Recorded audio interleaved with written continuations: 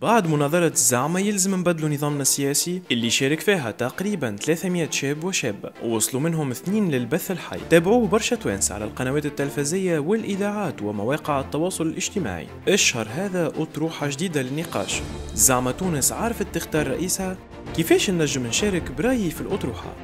قبل كل شيء بعد ما تخمم في الأطروحة وتكون موقف وراي حول أداء الرئيس التونسي بعد مرور عام على انتخابه.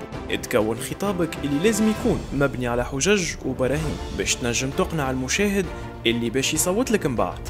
نتعداو المراحل المشاركة. تصور فيديو مدته ما تفوتش 99 ثانية يعني دقيقة و39 ثانية باش تعطي فيه رايك وموقفك.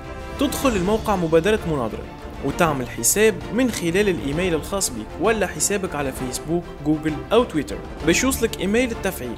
وقتها مهم جدا إنك تتأكد من الرسائل غير المرغوب فيها. سبام باش تنجم تفعل الحساب متاعك.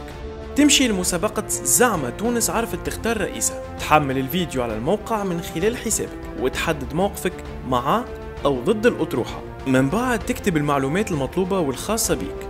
هكا تكون كملت. ومعليك كان تستنى شوية باش تلقى الفيديو متاعك على المسابقة. مرحلة ما بعد تحميل الفيديو. هنا يجي دور الجمهور.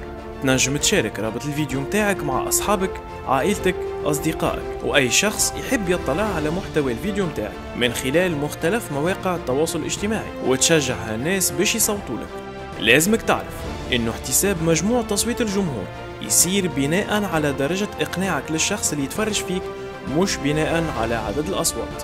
يعني إذا صوت لك مثلا عشرة أشخاص وفي انطباعاتهم كانوا الكل يوافقوا على موقفك مجموع تصويتك باش يكون عالي. وفي صورة ما صوت لك عشرين شخص أغلبهم ما يوافقوش على رأيك فإنه مجموع تصويتك باش يكون منخفض. العملية هذه تاخذ وقت وهذا علاش لازم نستناو تحيين الموقع بما أنه النتائج ما تخرجش مباشرة بعد تصويت المشاهد.